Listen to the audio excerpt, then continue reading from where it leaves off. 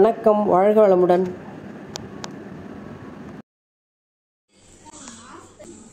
Hello friends welcome to ஃபுட்மா kitchen வாங்க இன்னைக்கு சப்பாத்திக்கு ஒரு சைட் டிஷ் பார்த்துடலாம். சிம்பிள் சைட் டிஷ் தான். இப்போ நம்ம அது தேவையான இன்க்ரீடியன்ஸ் பார்த்தீங்கன்னா தக்காளி ஒரு மூணு தக்காளி பெருசாக எடுத்து குட்டி குட்டியாக கட் பண்ணி வச்சுருக்கேன்.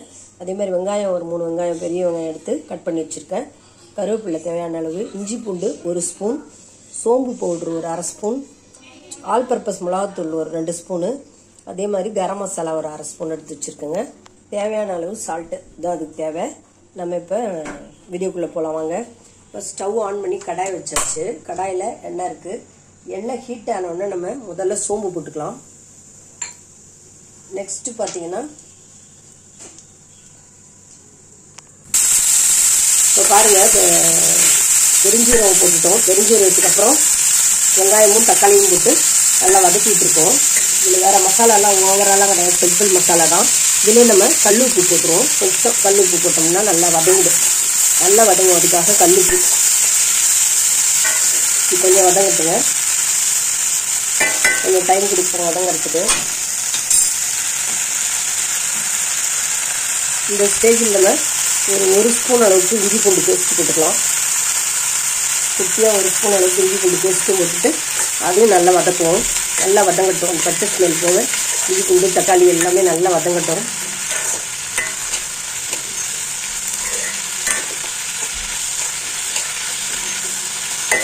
வதங்கிட்டே இருக்கும்போது நம்ம கரம் மசாலா ஒரு கால் ஸ்பூன் கரம் மசாலா போட்டுக்கிறேன். ரெண்டு ஸ்பூன் ஆல் பர்பஸ் மிளகாத்தூள் போட்டு தேவையான அளவு சால்ட்டு முதல்ல கொஞ்சம் கல்லுப்பு போட்டு வதங்கிறதுக்கு இப்போ தேவையான அளவு இந்த குட்டி ஸ்பூனால் ஒரு ஸ்பூன் அளவுக்கு ஒன்றரை ஒரு ஸ்பூன் ஒன்றரை ஸ்பூன் போடுறேன். குட்டி ஸ்பூன் இது அதில் ஒன்றரை ஸ்பூன் போட்டுக்கலாம் பத்தலைன்னா பார்த்துட்டு போட்டுக்கலாங்க. இல்லை முதல்ல கல்லுப்பு நம்ம போட்டுட்டோம். அதனால் பார்த்துட்டு போட்டுக்கலாம். இப்போ பார்த்தீங்கன்னா இது நல்லா வதங்கட்டுங்க. இது வதங்கினோடனே இதுக்கு நம்ம ஒரு அரை லிட்டர் தண்ணி ஊற்றி விட்டுட்டோம்னா அது பாட்டு கொதிச்சு கொதிச்சு சுண்டி நல்லா அந்த மசாலா ஸ்மெல்லும் போய் நல்லா மேஷ் ஆகி நல்லா வெந்து ஒரு கொக்கு பதத்துக்கு வரும். அப்புறம் சப்பாத்திக்கு சூப்பராக எண்ணெயாக இருக்கும். இதில் இப்படியே இருந்து தக்காளி தொக்கும் பண்ணலாம். இதில் நம்ம காய்கறி போட்டும் பண்ணலாங்க. இதில் வந்து காலிஃப்ளவர் போடலாம். உருளைக்கிழங்கு போடலாம். டபுள் பீன்ஸ் போடலாம். இல்லை நமக்கு என்ன பிடிக்குதோ இதில் போட்டுக்கலாம். நான் வெறும் தக்காளி தொக்கு தான் இப்போ பண்ணுறோம் அன்றைக்கி நல்லா வதங்கி வச்சு பாருங்கள் வதங்கிட்டோன்னா இல்லை தேவையான அளவு தண்ணி ஊற்றிக்கலாம் நம்ம. இது மாதிரி ஒரு அரை லிட்டர் தண்ணி ஊற்றணுங்க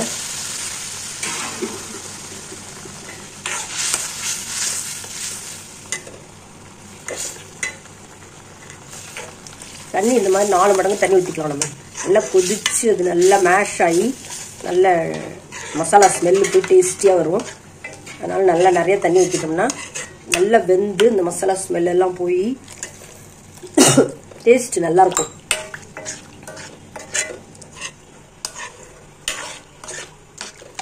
நல்லா கொதிக்கட்டும்.